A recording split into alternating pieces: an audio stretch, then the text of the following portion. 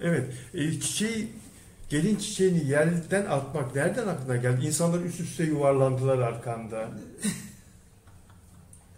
Evet ama öyle olmuş. Şey, Benim bir tane kız arkadaşım var hanımlar. Ondan sonra Ayşegül ismi. Ben de onun çok evlenmesini istiyorum. Diğer kız arkadaşlarıma göre onun boy farkı daha çok.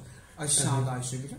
Daha kısa boylu. Çok kısa boylu değil de hani onlara göre çünkü ben o tutsun evlensin istediğim için çiçeği aşağıdan atayım dedim. Yerden alsın böyle hani. Onun Hmm. ayağına attım. Aldığı gibi tutsun istedim ben. O da sürekli yukarıdan beklediği için gene gitti uzun bir kız uzun boylu bir kız arkadaşım var. O tuttu. O tuttu. E, Kim onun ismini ne tutar? Dilşat gelir Dilşat. birazdan. Toplantımız var kozmetik firmasıyla alakalı benim. Hı hı. O gelecek. O yani. Yoksa çok isterdim. Kozmetik firmasını biraz sonra soracağım. Seni Harika Avcı'nın gençliğine benzetiyorlar. Bu konuyu uzatabiliriz. Gülben Ergen'e benzeten de var yüzünü, yüzünün güzelliğini. Değil mi? Gülben Hanım da çok güzel. Evet. Gülben Hanım'a kısa saçlı ve kumral halini benzetiyorlar. Bir de Mustafa Ceceli'nin eşi Selin İmer'e çok benzetiyorlar. O da Hmm. mutlu oluyor. O da güzel bir kadın. Sen kendini en çok... Ay harika avcı diyelim konuyu kapatalım. Harika. Biz ona harika, ayrı bir hayranlığım var. Hep böyle giriyorum YouTube'da bazı harika avcı filmleri izliyorum. İnşallah harika hanım da izliyorsa ona buradan selamlarımızı gönderelim. Takipleşiyorum onlardan. Öyle mi? Hiç yüz yüze geldin mi? Gelmedim çok istedim. O da istedi. Bir türlü kısmet olmadı. Evet, harikaya selamlar burada Evet bizi ya. izliyorsa. Ama güzel kadın değil Çok, miydi sen? çok, çok güzel, çok. Eşim burada kıskanmasın. şimdi. Çok. Yok kıskanmaz, o da gazeteci, eşim de gazeteci. Öyle mi? Evet. Peki Gökhan, kocan Gökhan evde sana ne diye hitap ediyor? Karışko. Karişko. Hmm, güzel. Ben de ona kocişko.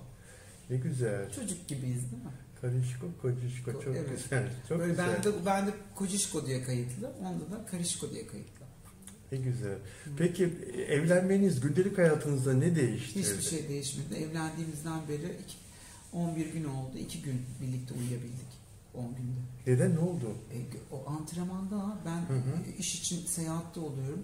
Mesela sen bu videoyu yayınladığın zaman ben 4 gün Kıbrıs'ta herhalde ben Kıbrıs diyorum Azerbaycan'da toplantılarım var.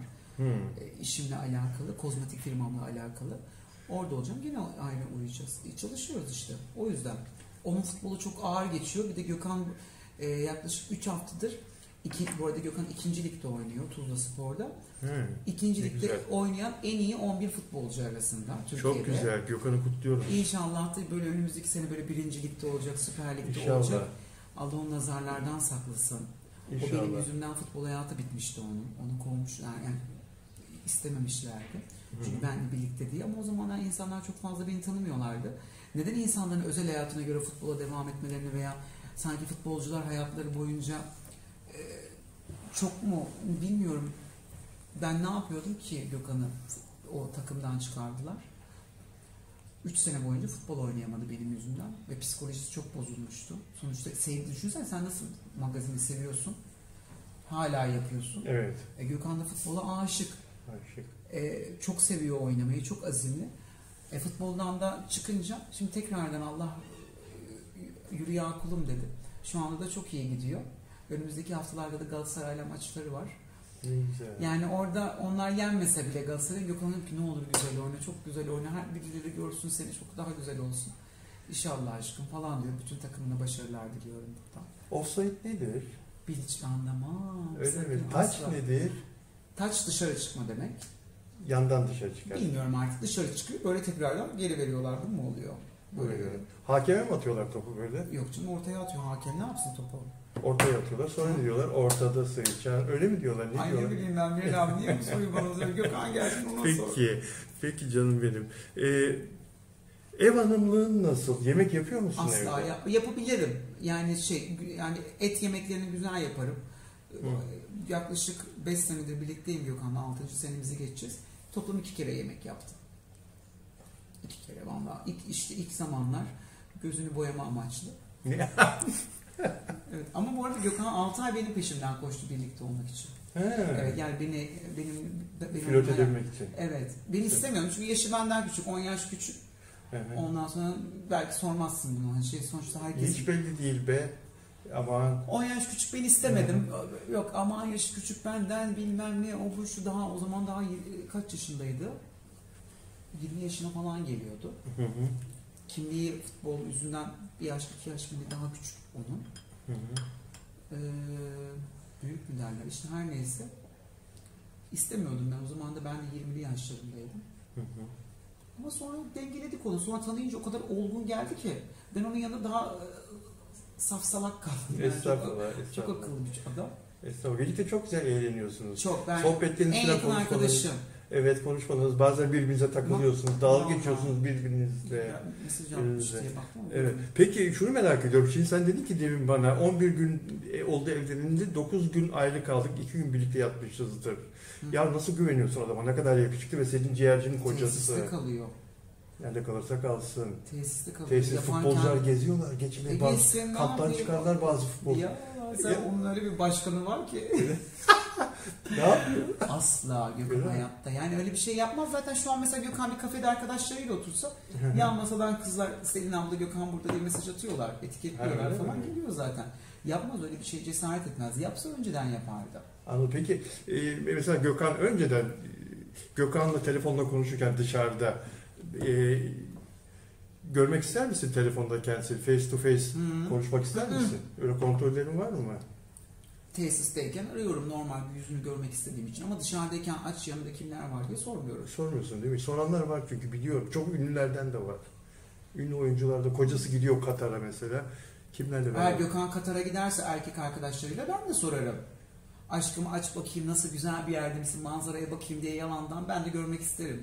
Oysa da kat, yani olduğu yerin manzarası beni ilgilendirmez. Sevmiyorum. Başka nerelere giderse sorarsın. Benim yurt dışı merakım hiç yok. Yok. Hiç yok hem de. Yani hiç öyle şeyim yok. Arkadaşlarım söylüyor. Mesela Amerika vizem var. Daha hiç gitmedim. Hmm. Hiç merak da etmiyorum. Bana böyle yeşillik olsun. Rize gibi yerleri ben seviyorum. Rize, Trabzon, yeşillik. Öyle mi? doğa, Orman, doğan olsun. Doğan Evet. olsun. Denizi olsun. Böyle yerleri seviyorum. Sessiz, sakin. Eskiden de öyleydi. Şimdi öyle. öyle bina bina New York'muş bilmem neymiş hani onlarmış. Ondan sonra hani çok fazla arabaymış. Sevmiyorum. Tatil benim anlayışım daha böyle sessiz. Peki mesela e, gideyim Milano'ya alışveriş yapayım, Paris'e gideyim alışveriş yapayım falan böyle bir merakın var mı? Mesela Demet bizim Demet Akalın sevgili alsın. Demet'in var mesela böyle. O popstar O alsın. E, Bülent Hanım'ın var mesela. O Bülent alsın. Selin Ciğerci de Ben çarşamba pazarına gidiyorum. ben Yeşilköy'de çarşamba, çarşamba pazarı var. Oraya gidiyorum. ne söylüyorsun? Bak Bilal abi ben Hı. eskiden de böyleydim. Şimdi de böyleyim. Ben gideyim Milano'ya oraya bile dünya markasına alışveriş yapmayı sevmiyorum. Sevmiyorum. Sevmiyorum. Herkesin farklı zevkleri var. Ben Gaziantep'e kebap yemeye gidebilirim. Hmm. Ant- Bak yutkundun. Evet evet. Ha, kebap. ondan sonra ona, onun için yol kat edebilirim. Ama bilmem ne markasının bir şeyi varmış gideyim hemen alayım. Ö- yani o yok. Benim annem de öyle. Benim annem o bütün taze fasulye pilav. Yani hani ben öyle gördüm. Benim Hı hı. öyle bir zevkim yok. Hani sonradan da insanlarda bu vizyon edinilebiliyor ama bende o zevk yok. Ha arkadaşım alsın yanında ben de çok güzel bir şey. Mesela en son Demet Hanım'la Milano'ya gittik. Kendime çöp almadım. Bir e, bir markanın tabağı vardı. Çok beğenmiştim. Evet. Onu aldım. Devamlı benim ben hala oldum. Hiç çok iyi göstermiyorum yeğenime. Hı hı. Devamlı ona montlar, kazaklar e, en iyi markalardan ondan sonra. Ona gittim oradan mont aldım, kazak aldım. Daha bebek. Düşün iki Evet, ay sonra evet. giyemeyecek. Ama benim de her şeyim zaten ona kalacak. O yüzden de ama ileride inşallah çocuğum olursa zaten sorarsın. Ona da Evet. kalır.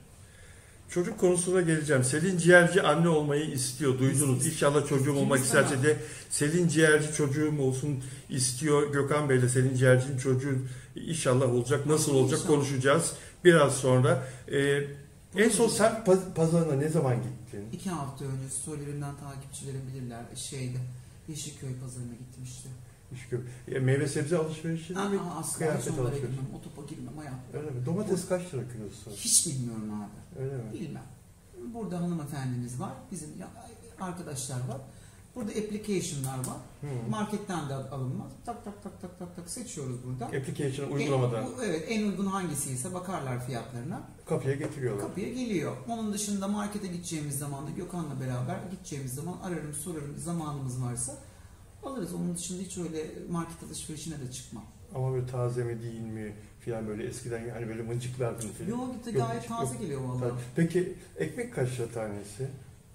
İnan bilmiyorum Bilmiyorsun. abi ya. Bakmıyorum Peki. yani. Simit yiyor musun? Simit yiyorum. Öyle mi? Se- severek susam Simit mi ne kadar soracağım? Yok sormayacağım Ha, ya. tamam. Simit sormayacağım.